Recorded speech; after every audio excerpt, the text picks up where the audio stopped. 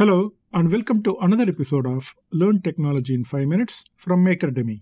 And I'm Venkatesh, the founder of MakerDemy.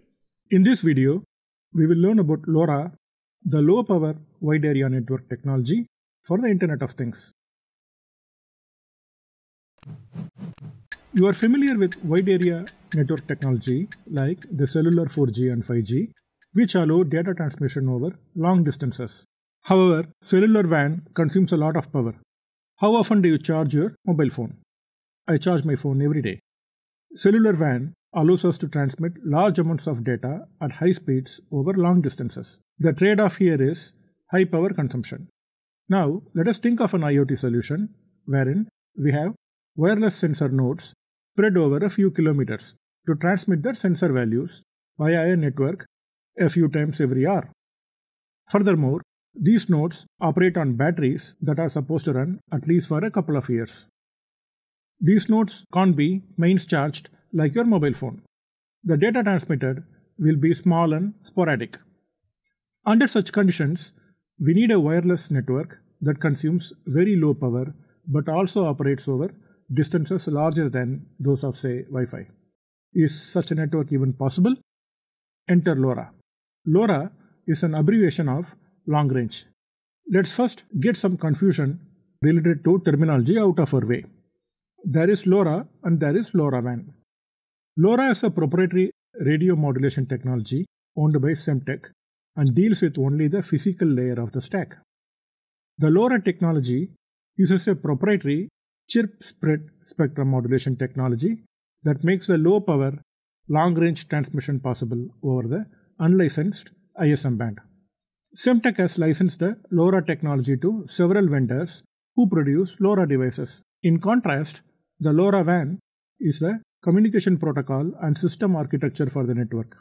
The LoRaWAN deals with the MAC layer and application layer of the LoRa protocol stack and is open source and is managed by the LoRa Alliance, a non-profit association of over 500 companies that is responsible for the development and promotion of the LoRaWAN open standard. The LoRa operates in the unlicensed ISM band in the sub gigahertz frequency. This means that you do not need any license to transmit data via the LoRa technology. The actual frequency of this sub gigahertz ISM band for LoRa varies from country to country.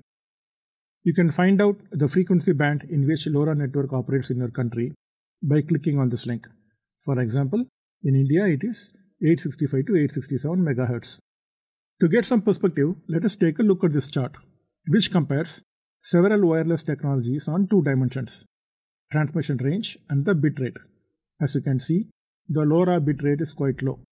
It is in the order of tens of kilobits per second. But this comes with a much larger transmission range and much lower transmission power.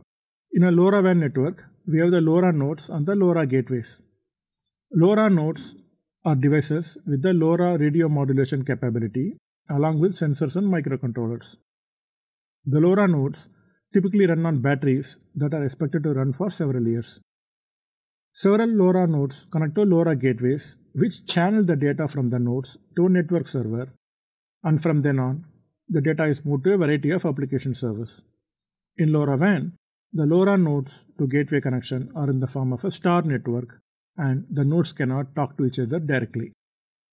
Also, the communication between the gateway and the nodes is bidirectional so that we can also get the nodes to perform some actuations like turning on some status lights and so on.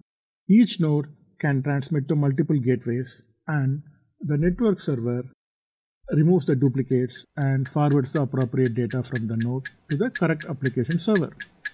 That is all from me in this video folks. If you like this video, subscribe to our channel and ring the bell so that you do not miss out on our future videos.